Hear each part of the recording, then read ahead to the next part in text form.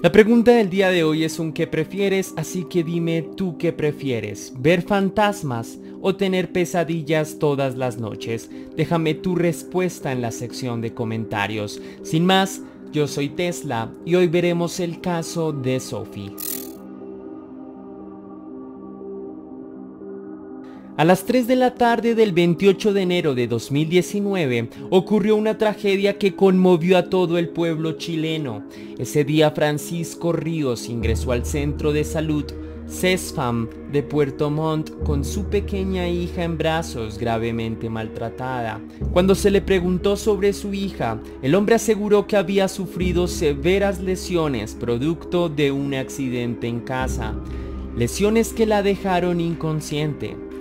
La pequeña era una bebé de solo un año y 11 meses que aparentemente luchaba por su vida. Inmediatamente, el personal médico hizo esfuerzos titánicos por salvar la vida de Sophie, pero lastimosamente ella perdió la batalla y cerró sus ojos para siempre.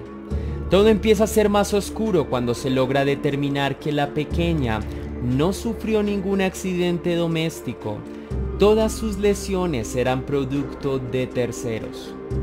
Además, el examen forense determinó que la causa de su muerte fue por asfixia mecánica. Lo más difícil de procesar y entender de este terrible crimen es saber por qué su padre le quitó la vida de la forma más mísera y despreciable posible. ¿Por qué reemplazó el amor que le debió dar a su hija por odio? ¿Por qué con alguien que no podía defenderse? ¿Cuál podría ser el pecado de una niña de solo un año y once meses de vida? Estas preguntas tienen que ser resueltas.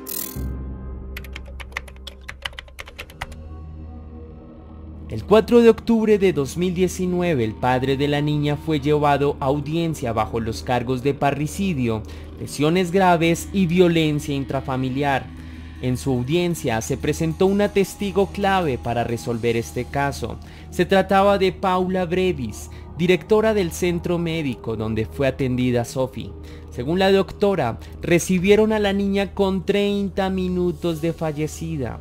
Además agregó que, en los múltiples intentos de reanimación fallidos a Sophie, se reveló que la niña presentó signos de abuso, tortura y estrangulamiento. El caso es aún más aterrador de lo que ya es cuando se reveló que el cuerpo de la pequeña presentaba más de 100 lesiones en todo su cuerpo y quemaduras de segundo grado en sus brazos. Se determinó que la niña sufrió maltrato continuo durante cinco días consecutivos. El hombre, o monstruo como quieras llamarlo, también atacó a la madre de la pequeña en varias ocasiones. Solía salirse de control y maltratar a su mujer de una forma muy despreciable. Pero eso no termina ahí. Se conoció en su historial judicial que no era la primera vez que ejercía el maltrato familiar. Incluso parejas anteriores lo habían demandado por lesiones personales. Al parecer Francisco Ríos era de esos hombres que se creían intocables. El crimen que perpetró este señor es tan aberrante que, para evitar que la madre salvara a su hija, lo que hizo fue encerrarse en el baño con candado para ejecutar la terrible golpiza que le costó la vida a la pequeña Sophie.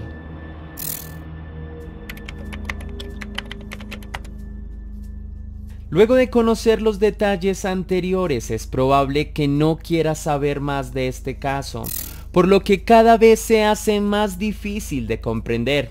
Es que incluso ni la peor película de terror es tan fuerte como las imágenes que tuvieron que ver los médicos que hicieron todo lo posible por salvar a la pequeña. De esta manera, el hecho se escaló rápidamente por los medios de comunicación y todo el país sentía indignación por lo ocurrido y exigían justicia por la muerte de la pequeña Sophie.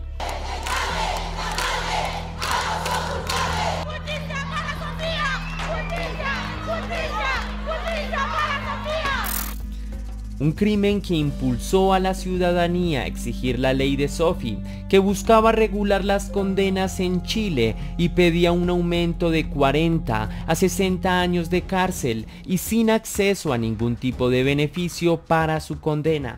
Esta ley sería aplicada a todas las personas que abusen, maltraten o asesinen niños. Además, las grandes multitudes le exigían a la justicia chilena que le impute la condena más dura a Francisco. Incluso se escuchaban muchas voces que pedían la pena de muerte. Por lo que estuve investigando el contexto jurídico de Chile, la pena máxima es el presidio perpetuo, donde el acusado puede solicitar la detención domiciliaria después de los 40 años de condena.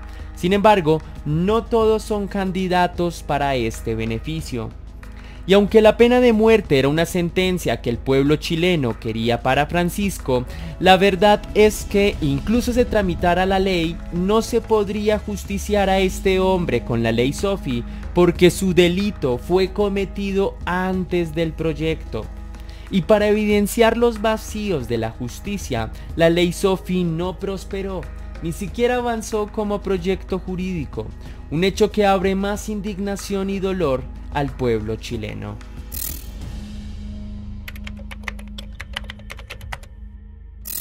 Durante el juicio se conocieron detalles espeluznantes sobre el caso de Sophie.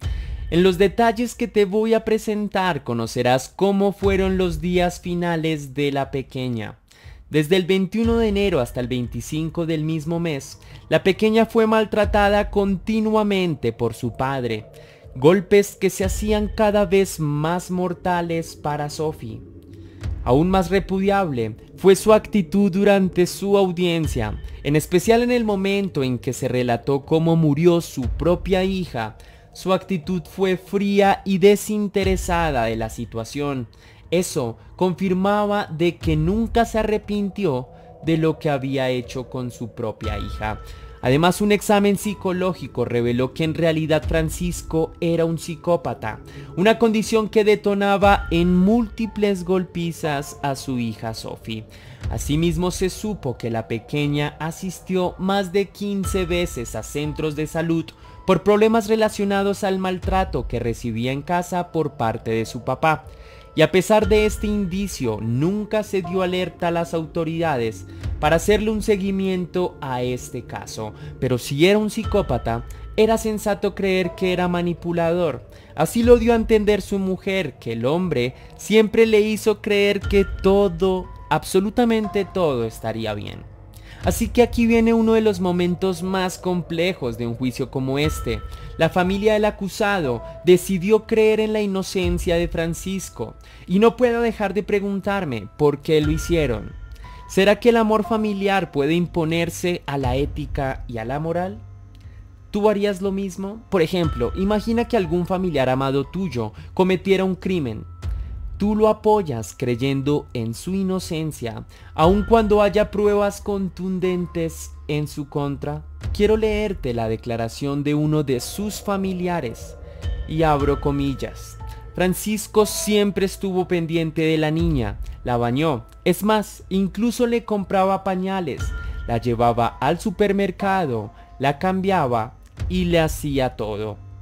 Este tipo de argumentaciones me hacen sentir la increíble ingenuidad de esta persona sobre los hechos. Basta con creer que probablemente Francisco solo mostró una actitud amable en público, pero que era en su casa donde mostraba su macabra maldad. Luego de dos semanas intensas de juicio, el jurado tenía listo un veredicto para el caso de Francisco y su participación en el asesinato de Sophie. El hombre fue hallado culpable de parricidio y también de maltrato por lesiones leves a la madre de la víctima. De esta manera, la fiscalía decidió imputar presidio perpetuo a Francisco y además una condena de 540 días por las lesiones que le propinó a la madre de Sophie. Algo que me pareció polémico del fallo fue la razón del por qué no le imputaron el cargo de tortura. Según la jueza encargada, explicó que las lesiones ocurridas desde el 21 de enero hasta el 25 no fueron realmente graves para vincularlas a un nuevo cargo por tortura. Es un argumento muy controversial desde mi punto de vista. ¿Cómo puede asegurar que no fueron lesiones graves cuando esas mismas lesiones acabaron con su vida? Es decir, me hace preguntarme, ¿eso no es lo suficientemente grave como para acusarlo de tortura? Es algo que me parece que merecía ser discutido. Así termina el caso de hoy, con la vida de una niña pagada y con un monstruo detrás de las rejas por muchos años, en los que seguramente reflexionará sobre todo lo que hizo cuando gozaba de la libertad. Si estás sufriendo maltrato, no olvides comunicarte con las líneas de apoyo que estén disponibles en tu país. Si te gustó el video, me ayudarías mucho dejándome tu cósmico like si me quieres apoyar más, déjame tus sentimientos de este caso allí abajo en la caja de comentarios. Y si quieres ser aún más generoso, podrías compartirlo con tus amigos. No olvides seguirme en mis redes sociales y sin más dilaciones por hoy, que las dudas te acompañen leyenda. Nos vemos en el próximo capítulo.